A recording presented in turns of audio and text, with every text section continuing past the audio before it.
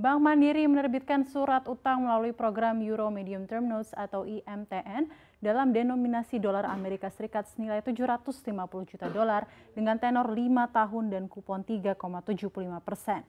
Surat utang tersebut akan jatuh tempo pada 11 April 2024 dan akan digunakan dengan tujuan umum perseroan.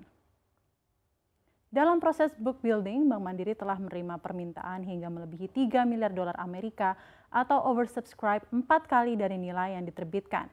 MTN ini memiliki rating internasional BAA TWON dari lembaga pemeringkat Moody's dan rating BBB minus dari Fitch.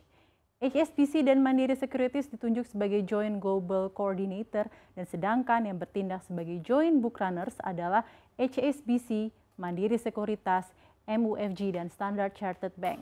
Direktur Treasury and International Banking Bank Mandiri Darmawan Junaidi menyatakan nilai penerbitan ini merupakan transaksi global bond terbesar yang pernah diterbitkan oleh bank dari Indonesia.